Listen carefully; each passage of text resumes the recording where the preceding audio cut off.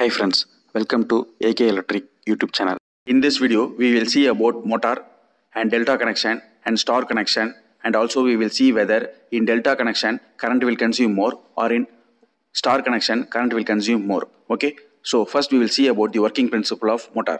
So as you see in the pics, motor has two main parts that is stator and rotor where stator is a stationary part which is standstill and rotor is a rotating part okay now one can observe in the top side of motor there is a terminal box where we can give the three phase power supply which produce the rotating magnetic field in the stator okay? Now stator will have a three sets of coil. One is u1 and u2 and other set is v1 and v2 and third set is w1 and w2 this three set of coil is wound in the stator and bring in the top side of the terminal box and it will be connected okay? There we will give the our power supply to the stator coils. Those coils will produce two pole rotating magnetic field in the north pole and south pole direction okay? So according to electromagnetic induction rmf will induce electricity in the rotor bars. You, you can see the rotor bars in the downside peaks okay? Therefore electromagnetic force will develops which makes rotor to rotate. So simply we can see or simply we can say once you give the power supply to the stator there will be a rotating magnetic field will be evolved. Due to that rotor will start rotating okay? Once the rotor starts rotating there in shaft we will connect our pumps for our mechanical action. So simply we can say that motor is an electrical device that converts electrical energy into mechanical energy. Okay? So now we will start discuss about winding connections. First we will see about delta connections. This is delta formation. Okay? So this is how circuit representation will be looks for delta winding. Okay? So this just represents triangle shape. Okay? So here you can see three sets of coil first set will be u1 and u2 second set will be v1 and v2 third set will be w1 and w2 okay? So here you can see our three phase power supply will be connected like this. L1 l2 l3 so for uh, india there will be about 50 hertz. In gulf countries it will be about 60 hertz. So both frequency ranges we can connect for delta winding. Okay? So now you see here w2 and u1 i have been marked as one set. Whereas u2 and v1 i have marked as second set. And here w1 and v2 i have marked as third set.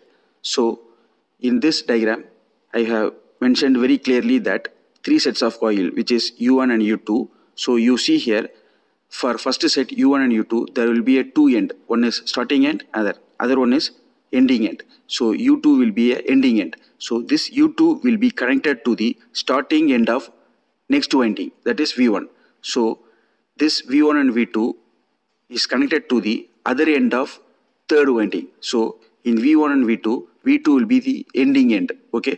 This ending end will be connected to the starting end of w1 w2 so i have tell about delta winding concept. One end of winding is connected to the starting of other winding. So for better understanding, I have draw a stator of motor. So this assume this diagram as stator for motor. Okay, here U1 winding will be the starting point.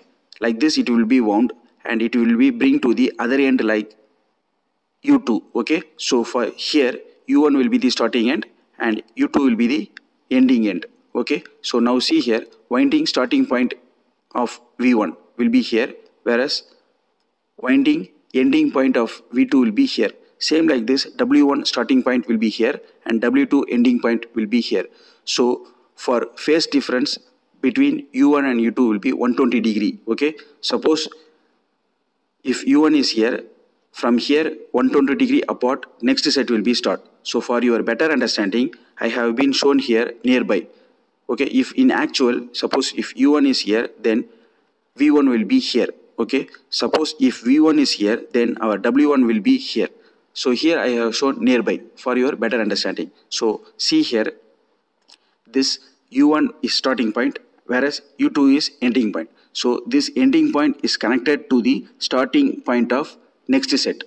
Okay like this v1 so u2 is connected to v1 now see here this v1 is starting point and v2 is ending point so this ending point is connected to the starting point of third set that is w1 and w2 so here w2 is ending point this ending connection is connected to the starting connection of first set of coil called U1. Okay, this is how we have to short. That is W2 to U1 and V1 to U2 where W1 is connected to V2. Okay. Now you see here, this is motor terminal block one which can observe from the motor upside. So here U1 and V2 is shorted where here you can see that U1 and U2 sorry U1 and W2 is shorted and here you see V1 and U2 is shorted. So here you see V1 and U2 is shorted and W1 V2 is shorted.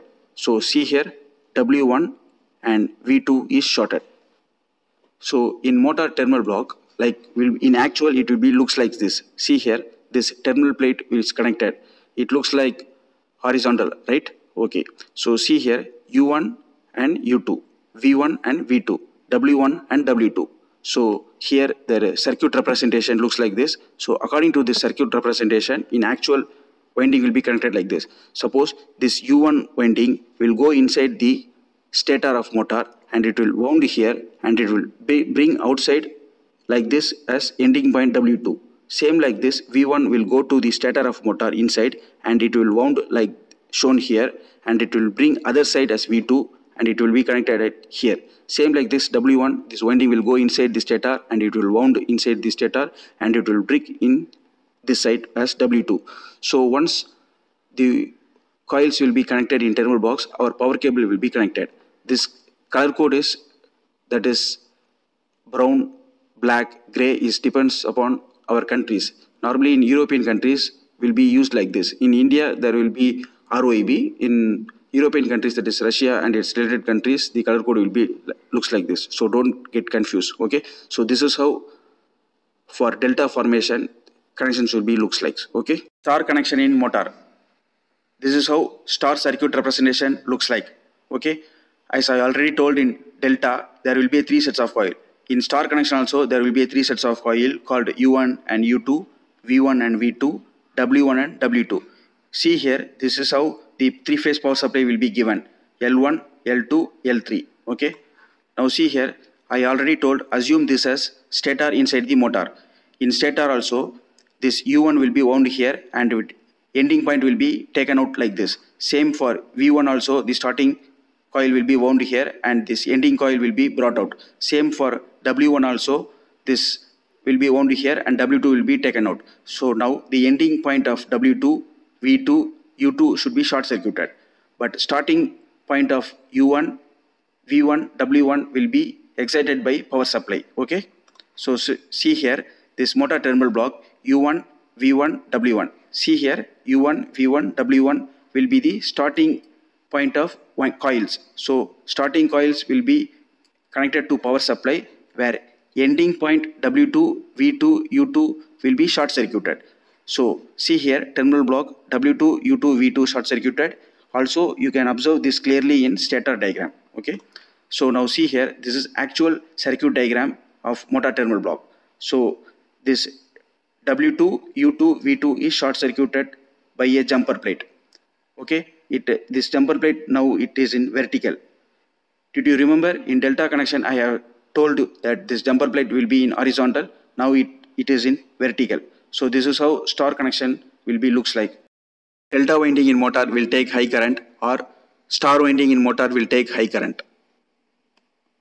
So voltage consumption in star formation. So now see here the stator coils will be connected to motor terminal block like this. Okay. Now you give the three phase supply to L1, L2, L3 and measure the voltage between L1 and L2 and also between L2 and L3 and L1 and L3 you will find 415 volt between all phases okay if you measure in coil side you will find only 240 volt that is between u1 and u2 and also if you measure between v1 and v2 you will find only 240 volt. Also between w1 and w2 if you measure you will find only 240 volt. This is why.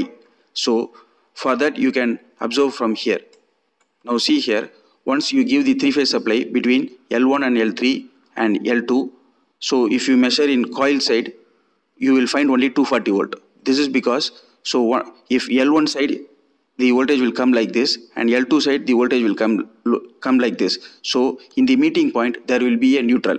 So in electrical philosophy the junction point of three phase voltage will be neutral correct? In transformer also same philosophy will be followed. So in source side you will measure 415 volt. In coil side you will measure only 240 volt because of this neutral point okay? But in delta that will be different in delta there is no any neutral point. So same supply voltage will be measured in coil side also. If you measure in u1 and u2 you will find same 415 volt that you given to the supply side okay? I hope you will be better understand. Simply you just think in delta there is no any neutral. So supply voltage and coil voltage will be same. But in star their supply voltage and coil voltage will be different because in coil in star formation there will be neutral okay? So now we will see the calculation current consumption calculation. Now see this is how power formula will be.